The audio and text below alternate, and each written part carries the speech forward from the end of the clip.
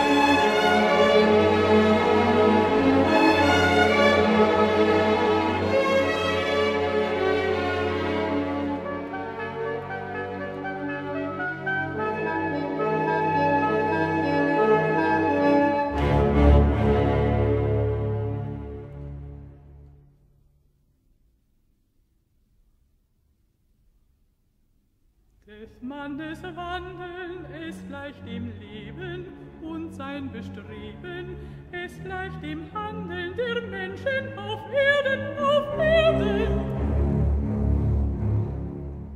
Die Zukunft decket Schmerzen und Glücke, schrittweis dem Blicke, doch ungeschrecket dringen wir vorwärts, wir vorwärts. und schwerer hängt eine Hülle mit Ehrfurcht, stille Ruhn oben die Sterne und unten die Gräber. Betracht sie genauer und siehe, so melden im Busen des Helden sich wahr